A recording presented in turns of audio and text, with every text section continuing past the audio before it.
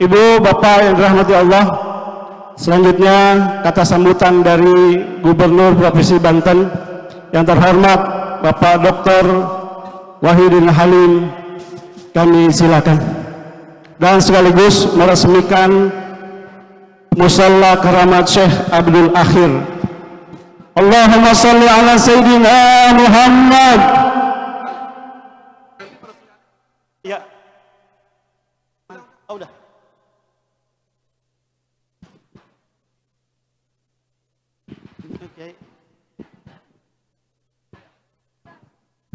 Assalamualaikum warahmatullahi wabarakatuh. Alhamdulillah. Wassalatu wassalamu ala rasulillah Muhammad Abdullah Wa ala alihi wa wa La hawla wa la quwata illa billah ma'bad Ibu yang saya hormati dan semoga disayang sama suaminya masing-masing panjang umur, sehat, berkah dan menjadi ibu rumah tangga yang bisa membina, mendidik anak-anaknya yang menjadi anak yang soleh dan soleha. Pak Kiai Fahru, sahabat saya, dan ternyata setelah disambung-sambung itu masih keluarga besar dari keluarga Wangsakara. Itu ada Kiai Rahmatullah, ada Kiai Imad dan para Kiai lain di sini. Ternyata setelah saya tadi ketemu dengan para Kiai di rumah itu penjelasannya bahwa tidak bermaksud membanggakan nasab tapi memang sejarahnya sejarahnya ada. Mungkin nanti Kiai Fahru yang bisa menjelaskan. Puji dan syukur hati Allah Subhanahu wa taala atas karunia dan nikmatnya. Alhamdulillah hari ini hadir dari Jakarta, dari Tangerang dan dari Banten ribuan orang yang tidak bisa saya lihat satu-satu. Luar biasa dan tentunya ada para kiai dari Jakarta, ada forum habaib dari Jakarta, dan semuanya yang tidak sebutkan satu persatu. Bersyukur kepada Allah taala, telawat kepada junjungan Nabi besar Muhammad sallallahu Insyaallah kalau hidup kita selalu dengan bimbingan, dengan petunjuk, ikuti sunnah Rasul, insyaallah kita sehat, kita aman dan damai. Masyarakat juga demikian ya kepada masyarakat yang beriman dan bertakwa insya Allah datang keberkahan. Datang dari langit ke bumi ini.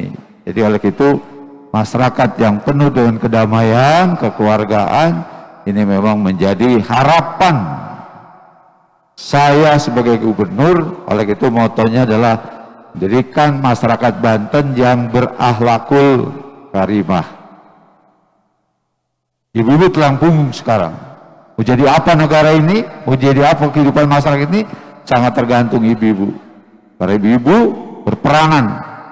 Ibu-ibu memang sebagai pendidik di rumah. Dan ibu di mana-mana ada misalin luar biasa ribuan orang dan sebagian besar yang hadir adalah ibu-ibu yang luar biasa.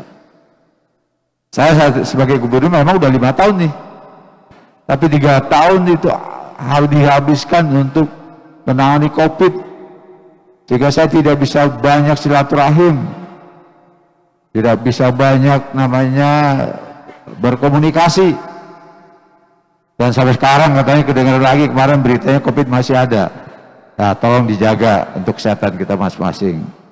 Percaya atau tidak percaya pemerintah sebenarnya ingin membebaskan rakyatnya dari persoalan kesehatan. Ingin membebaskan masyarakat jauh dari COVID oleh itu kita tetap gunakan protokol kesehatan, pakai masker dan lain sebagainya. Rumah jaga imunisasi kita.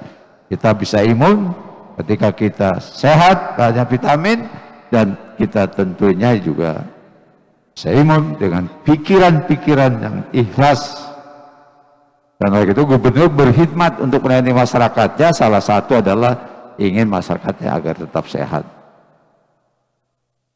Walaupun dalam lima tahun masih banyak persoalan yang tidak sempat karena COVID, tapi sekarang saya sudah berhasil membangun Banten lama yang dulu jorok. Sekarang ibu-ibu dari sini silakan juara tuh lihat sekarang udah perubahan. Jalan-jalan cor saya bangun di mana-mana.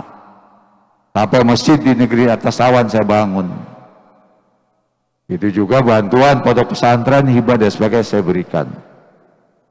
Kata orang-orang Maros bahwa selama saya hadir sebagai gubernur, harga tanah sudah mulai naik. Dan ini memang satu yang luar biasa. Saya belum sampai mau bangun dari mau Tanara sampai ke itu sudah sudah saya kita cor tapi paling tidak kita mau tingkatkan jalan dan lain sebagainya. Jadi kan kehidupan pemerintahan yang melayani masyarakatnya, kehidupan masyarakat pemerintahan yang berakhlakul karimah, insya Allah satu negeri Banten yang baldatun toibatun warabun gopur bisa kita capai secara bersama-sama. Saya kira itu saja sambutan saya dari para kiai, para habaib yang akan banyak memberikan tausiah pesan-pesan keagamaan. Tapi dengan Bismillahirrahmanirrahim saya resmikan musolah atau masjid. Ya. Saya Kiai Haji saya akhir. Di sini banyak lahiran sese saya Abdul Akhir. Saya Abdul Adung Abdul Akhir. Apalagi saya Nawawi sudah terkenal di dunia ini. Jadi saya melihat bahwa sosok figur dari sini, dari ulama sini menjadi ulama yang besar. Kita doakan bagi Kiai Fahru ya sekarang udah mulai di Jakarta ini kita doakan ya terus semakin menjadi seorang ulama yang besar yang memberikan manfaat dan kemaslahatan bagi kita. Demikian terima kasih. Wassalamualaikum warahmatullahi wabarakatuh.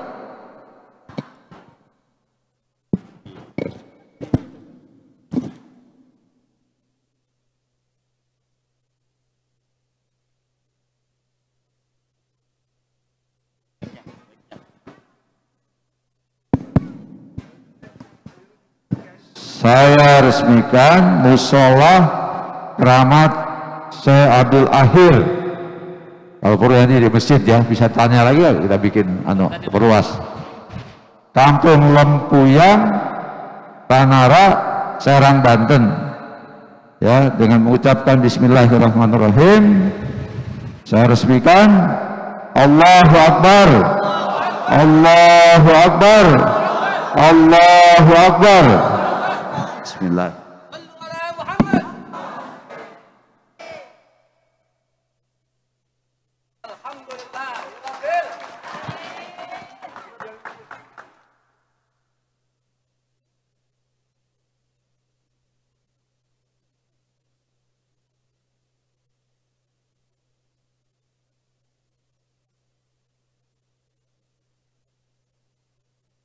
Pak, Pak Gubernur izin minta boleh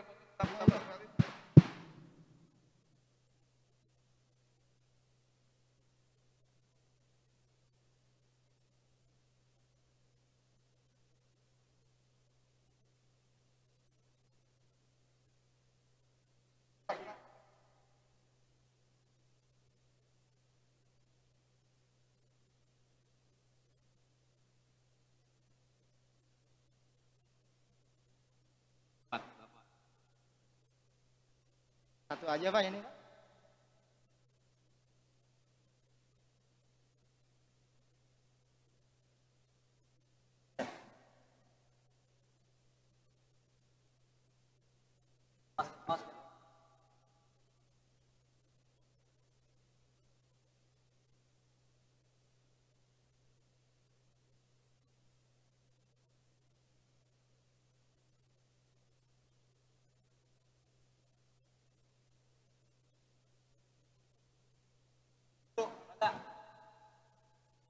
对。